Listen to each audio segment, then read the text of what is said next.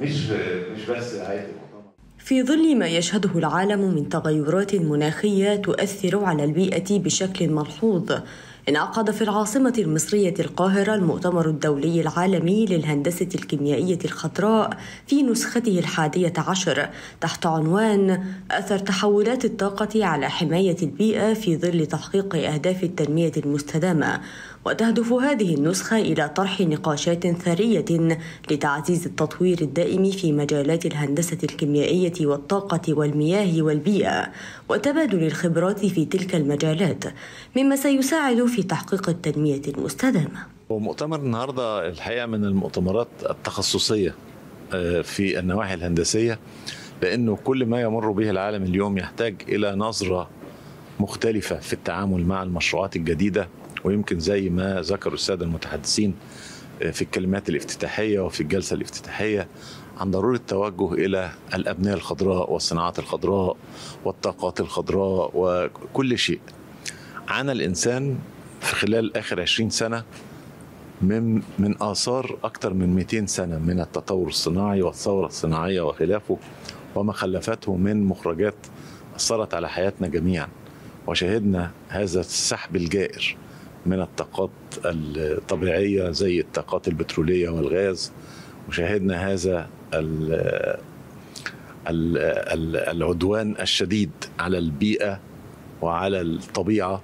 من خلال المخرجات الصناعية صدرتها الدول الصناعية الكبرى ويدفع فاتورتها اليوم العالم النامي بالحد من إمكانياته في الصناعة. وأوضح الحضور أن هذه النسخة من المؤتمر ستساهم في توفير فرص للتبادل الاقتصادي وجذب الاستثمارات في مشاريع تعزيز التنمية المستدامة وأيضا بناء وعي بيئي حول أهمية الحفاظ على البيئة وتحسين إدارة الموارد البيئية. المؤتمر من الأدوات الأساسية لتحقيق أهداف التنمية المستدامة موضوع الهندسة الكيميائية والبحث عن مصادر جديدة ومصادر متجددة من الطاقة ومن المياه واستخدام الموارد الأمثل والمتاحة لتحقيق أهداف التنمية المستدامة. طبعا خلال اليومين الموجودين موجودين معانا مجموعة من الحضور والحشد اللي موجود من وزارات البترول ووزارات الطاقة والصناعيين والأكاديميين. معانا مجموعة من الدول العربية. أنت تعرفي طبعا حضرتك التغيرات اللي موجودة حاليا في كل الدول العربية وكل التوترات الحاصلة في الموضوع. كثير من الدول تأخرت في تحقيق أهداف التنمية المستدامة والأجندات الخاصة بالتنمية المستدامة. وطبعا ده مش بسبب الدولة نقدر نقول بسبب التغيرات اللي حصلت سواء التغيرات المناخية سواء التغيرات السياسية التغيرات الاقتصادية في عوامل كتير حصلت خلال السنوات الأخيرة سببت بعض التأخر. فبتكاتف الدول العربية حاليا بحضور بعض المؤتمرات اللي نقدر نقول تسليط الضوء على بعض المشاكل والتحديات نقدر نساعد الدول في تحقيق هذه الأهداف. مشاركتنا بهذا المؤتمر هالسنة بتجي تلبية للدعوة من المنظمه العربية لجامعة الدول العربية من شان نقدم طروحنا التكنولوجية بمجال إنتاج الوقود المتجدد من مصادر خضراء. وهو هذا الشيء يعني بقلب بصلب موضوع المؤتمر.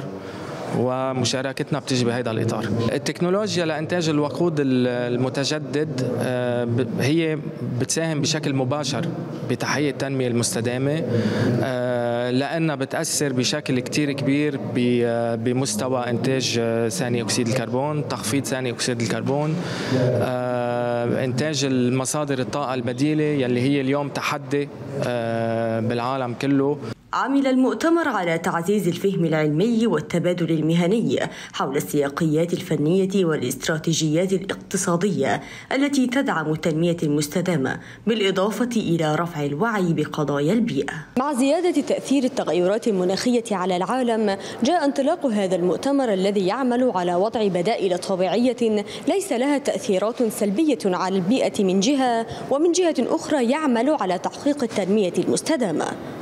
مريم سعيد اليوم القاهرة.